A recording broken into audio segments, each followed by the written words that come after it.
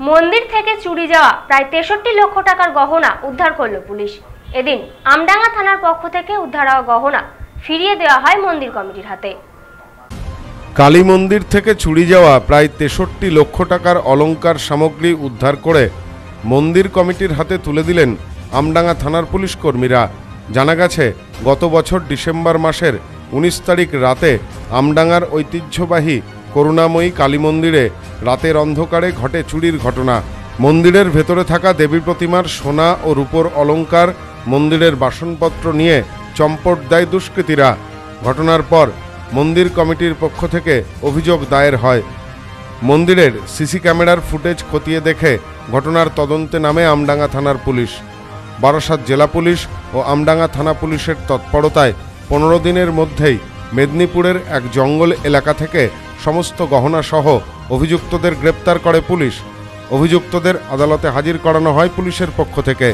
এ বিষয়ে আমডাঙ্গা থানার আইসি অঞ্জন কুমার দত্ত বলেন, মায়ের গয়না যা ছিল সমস্তটাই একটা বাঞ্জারা টিম তারা মন্দিরের পিছন থেকে ঢুকে মায়ের মন্দিরে সমস্ত চুরি করে নিয়ে পালায় এবং তারপরে আমাদের থানায় কেস হয়, আমরা এই কেসের তদন্তে নেমে পনেরো দিনের মধ্যে ছজন ডাকাতকে আমরা অ্যারেস্ট করি এবং তারপরে তাদের কাছ থেকে যা সমস্ত সম্পত্তি মায়ের চুরি গেছিল তার অধিকাংশই সোনার পুরোটাই এবং রূপোর অধিকাংশ উদ্ধার করা হয় এবং তাদেরকে আইনানুগ শাস্তি প্রদানের জন্য ব্যবস্থা করা হয়।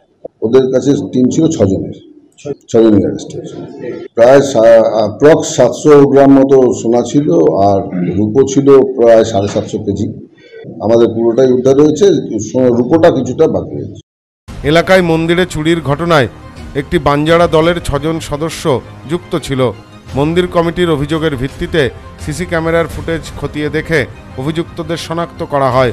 উদ্ধার হয়েছে মন্দিরের চুরি যাওয়া প্রায় সাতশো গ্রাম সোনার গহনা, যার বাজার দর প্রায় পঁয়ত্রিশ লক্ষ টাকা।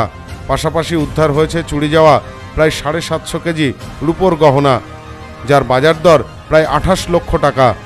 এ বিষয়ে মন্দির কমিটির নবনিযুক্ত সম্পাদক অমলচন্দ্র ঘোষ বলেন, পুলিশের তৎপরতায় মন্দির থেকে চুরি যাওয়া গহনা ফিরে পেয়ে স্বভাবতই খুশি মন্দির কর্তৃপক্ষ।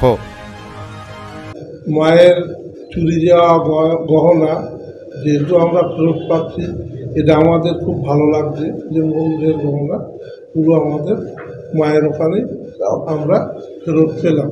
মন্দিরে নিয়ে গিয়ে আমাদের যে তালিকা আছে, সেই তালিকার সঙ্গে আমরা মিল করে এবং যাচাই করে মন্দিরে গিয়ে আমরা ঠিক করে নেব। যে আমাদের কমিটি আছে, সভাপতি মশাই বা আমাদের যে কমিটি আছে, সবার সামনে সেটা জুড়ে দিয়ে আমরা ওটা ঠিক করে নেব মন্দিরে। আমাদের আইসি সাহেব যেভাবে পরিশ্রম করে মায়ের এতে এ রেখে যে নিষ্ঠা নিয়ে উনি যে এগিয়ে গিয়ে এই যে উদ্ধারটা করলেন এর জন্যে আমরা এলাকাবাসী মঠের তরফ থেকে সবাই সন্তুষ্ট। Bureau report news no man's land Amdanga. বাঙালির প্রাণীর উৎসব দুর্গাপুজো।